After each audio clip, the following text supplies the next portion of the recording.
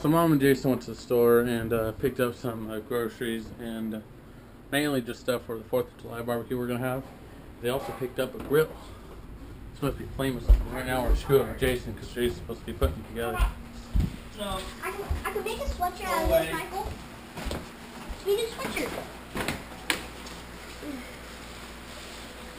Uh, you will fabricate doing that, child. Stop. I smell puppy. I'll pop your butt. Zach, hold this. This is the best way to do it. Bunch it up. You twist it. Oh, so that's how you do it, They huh? want to do it one at a time.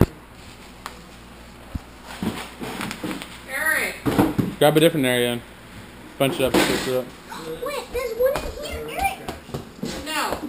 Eric, that one right there. on Eric can get the new one on the ground.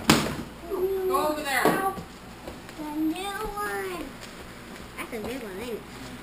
You grab one? You, you bundle it up and you, squeeze it. Ready? Zach, you're not doing it right. Look. Try right here. I pull.